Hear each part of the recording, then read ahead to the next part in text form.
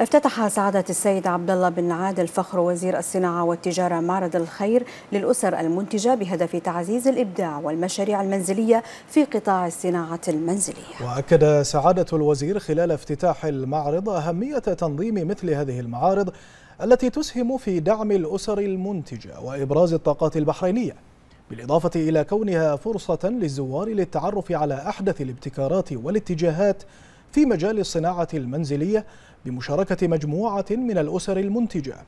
مشيرا إلى أن هذا المعرض له الأثر البالغ في تنمية مشاركة الأسر المنتجة وتقديم منتجاتهم إلى الجمهور.